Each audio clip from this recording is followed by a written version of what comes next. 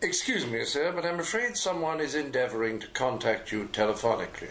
Shall I tell them to fuck off? Call me Bubbles, darling. Everybody does.